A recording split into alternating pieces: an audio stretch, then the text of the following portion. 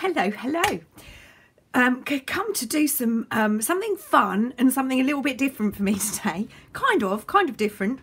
So I created the botanical specimen um, kit. Um, we made made a few tags. I did a, done another one since I think the video maybe um, using some stickers and I absolutely loved making these. And I had an email from a lovely lady Mel. Hi Mel. Who gave me a, a, little bit of information about her property and asked if I would consider doing something mammal animal related and bird related to go with this kit. And I just thought I quite enjoyed the research, finding the wording and information on the botanical. So I thought I'd do the same for the birds and the mammals. And they're two new kits in my shop.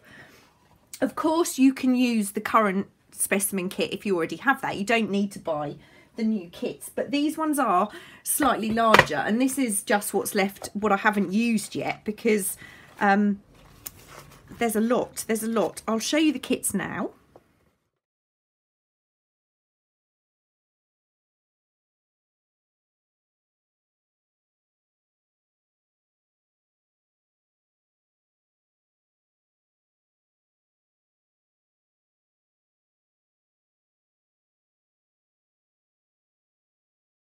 So what I'm going to do is I'm going to show you some of the tags I've already made and then what we'll do is we'll have a look at um, making something with a bit of a difference for me like I said. So I have created this one and this one is just stapled on the little um, back there and that's the back. So that's that one.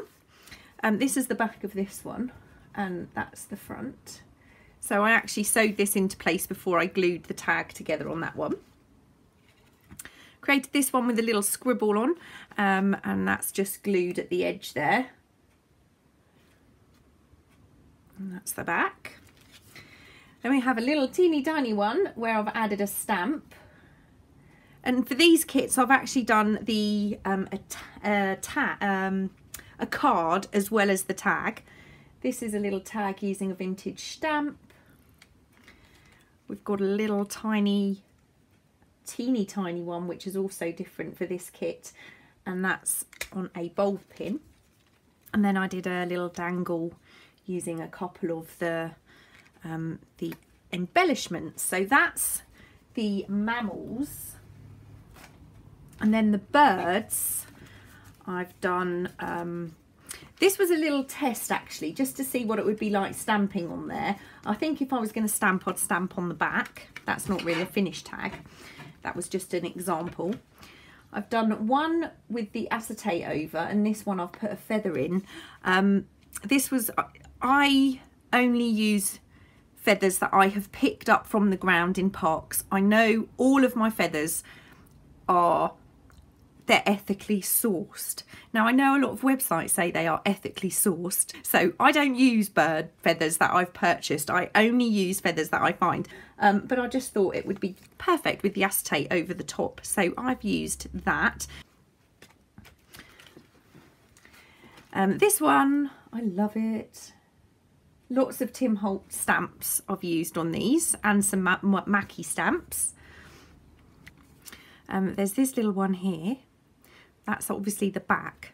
So that's the front and that's the back, but that's the pretty side. done another one where this one's just stapled on there. So these are the little catalogue cards rather than the tags. And then there's this little one with the stamp. And then there's this one as well, another little one. So I did a little little ball pin one again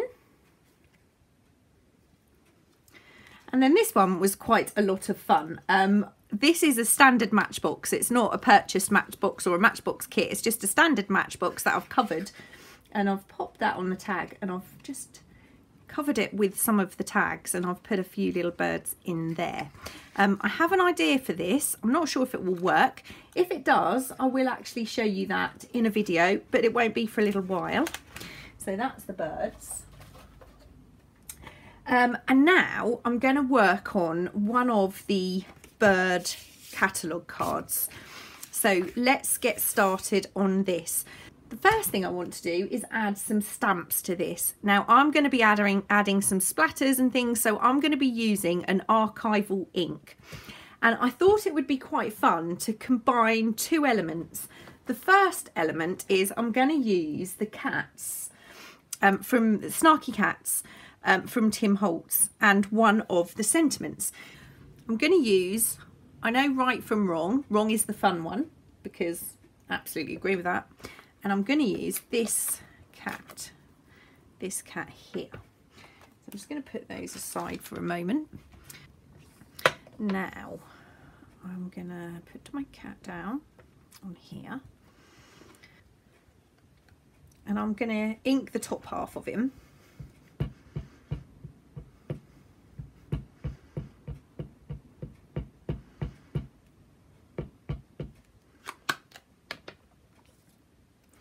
and I want him popping up from here so I'm just going to give that a little now my ink is not as juicy as it used to be so it might not be a perfect that's brilliant I'm happy with that very happy with that. Okay, now the sentiment. It's not extremely black, but it's it's enough. And I'm going to put this up here. Okay, like that. So now I'm going to grab some of the, um, whoops, some of the, um, which ones are these? These are the field note stamps. I'm going to grab this one and I'm going to take a baby wipe. So what I'm going to do to get the text in here, I'm just going to text the top half of this stamp. This is just to show you don't need loads and loads of stamps. You can use what you have and create something different with them. So I'm just going to go round the edge here with this baby wipe to make sure those black lines are not going to show. I don't mind if I wipe out some of the other text. It's not a problem. Once I've done that, I'm just going to hold it over this text area here and do a little stamp and push and then a little stamp and push. So it kind of gives the illusion that that's been handwritten. It's not perfect, but I don't mind that. Now I'm going to take the filed stamp go on to the red ink, because I think you need a little pop of red in here and I'm still sticking with archival and I'm going to put that over the status box at the top of that brilliant and then I'm going to take smaller stamp block big one I think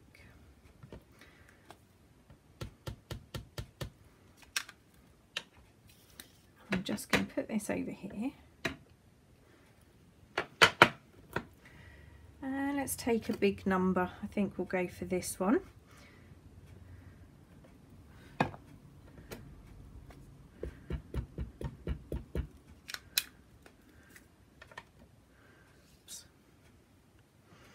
Let's put that, let's put that there I'm going to leave it as that for now. Now, um, I've got some white and some black acrylic and my makeshift splat box. Um, and to be fair, I've probably had this, I made this probably, I don't know, two, three years ago maybe. It's getting past its sell by date, but I'm just waiting for the right box to come along to make a new one. I'm going to put that in there, put that in there. Now I'm going to go in with my white first. I've already put a little bit of water in here to make it a little bit more usable. Probably not enough actually. So I'm just going to add a bit more there. And I don't have two splat blush brushes. I wish I did, but I don't. So I'm just going to try my best. This is just hit and miss really what these brushes are like. Um, I'm just I'm just going to put a little bit of paper over him. And I'm just going to put some splatters in.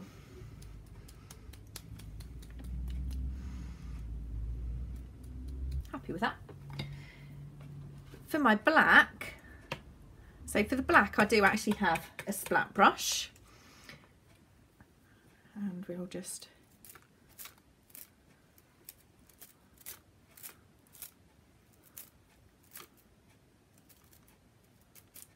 lovely.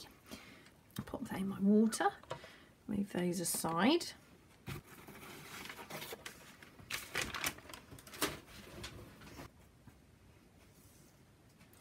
Gonna give this a bit of a dry and drink some of my coffee while I'm doing that.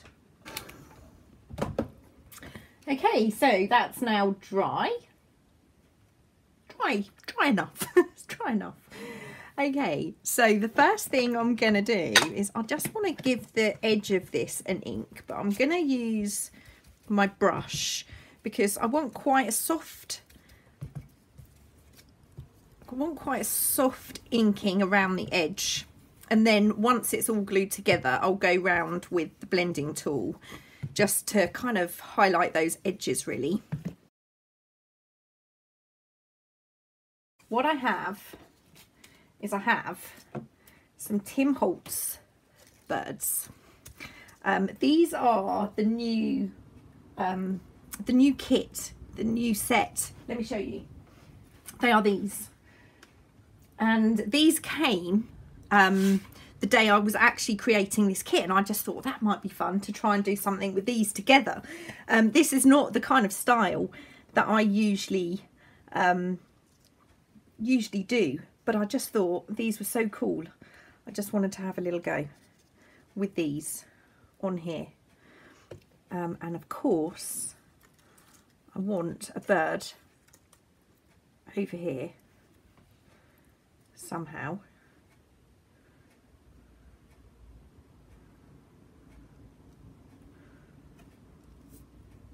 That's fun. That's fun. I was going to put it in this space over here. Um, but I quite like that. He just looks like, yeah, like that, like that. Um, let's see if we can get a second one on here. Oh, just broke his leg. That's quite cool as well, isn't it?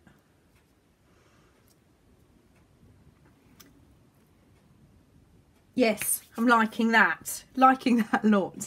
Right, grab my glue. I'll quickly put these into place.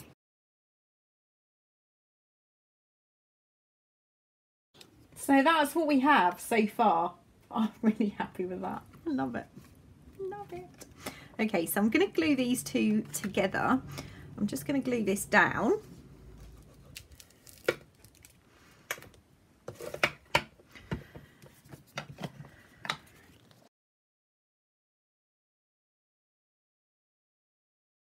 gone around that with the um, walnut stain, but I've just decided I'm going to go around it again in black soot, just to give that an even darker edge.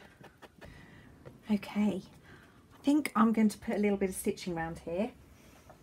And we're done. We are done.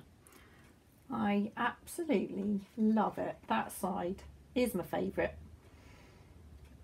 So there's probably a million other things you could do. But like I said, this is not really the kind of thing I would normally do. Um, I think I've had this stamp set for, I don't know, maybe a year or two, two years probably. And I think I've used one stamp maybe once um, on a birthday card and that's it. That's it. So it was nice to get that out and have a little go with that.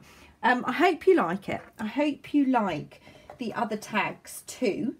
Um, I have several videos planned and lined up so I hope to be back really soon. I will be back soon. Take care. Thanks for watching. Bye.